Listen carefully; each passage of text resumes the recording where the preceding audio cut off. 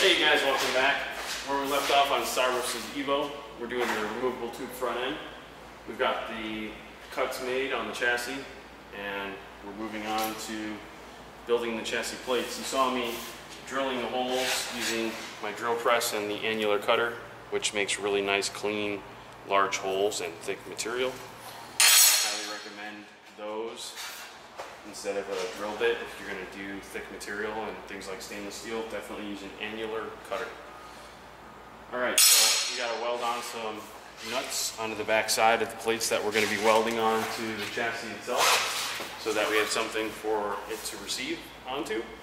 And then we will move on to bending tube.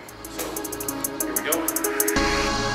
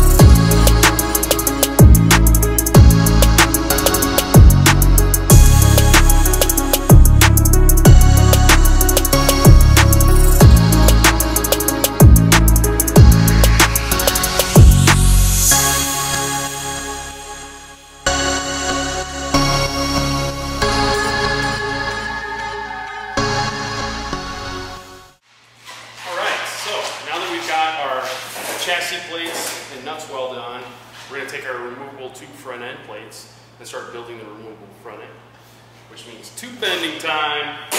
First thing I got to do is put these plates, marked passenger driver, on the tube front chassis jig that I built.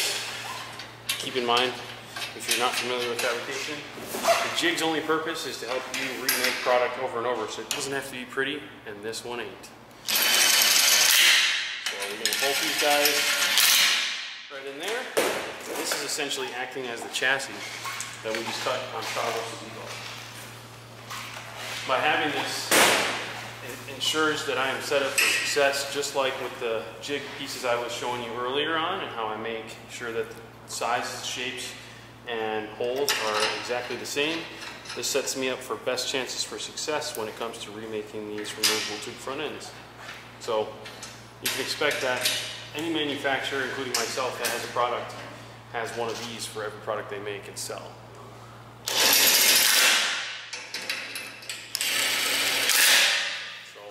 there you go. Sort of a mock-up know where I need to be as far as my center point as we bend our tube, and you'll see how this works.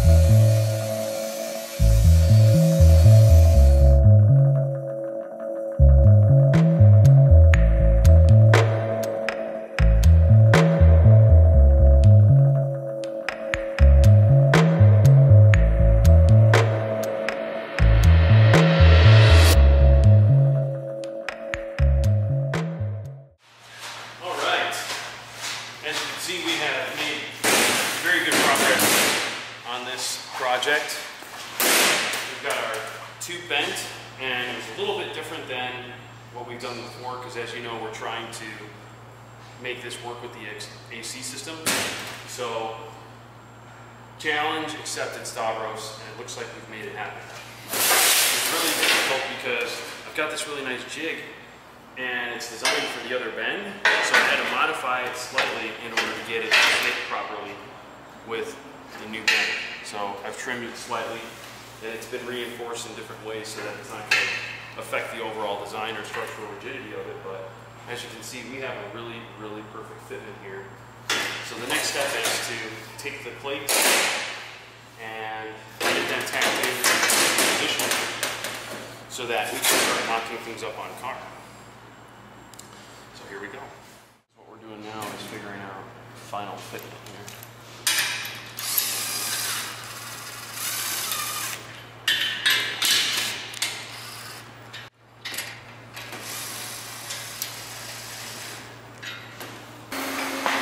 When you're welding on chromoly, especially when you're sealing tube, the internal gases are going to need somewhere to go. And if you don't give them somewhere to go, then it's going to become a big mess later on, meaning they're going to force themselves out through the weakest point, whether it's a weld or most likely going to be a weld, let alone a weakness in the tube. In order to resolve this problem, we have to drill a hole. And that will release pressure once each side is sealed,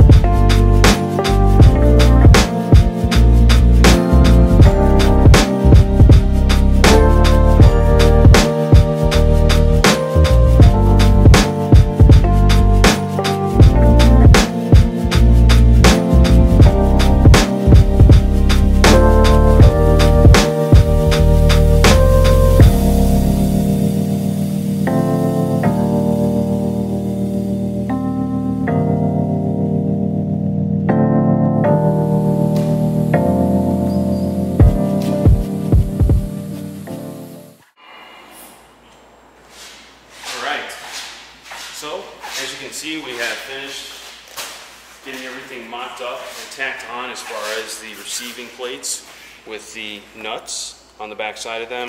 We have successfully mocked up the tube front end that we have bent and welded not only the radiator support but also the headlight support.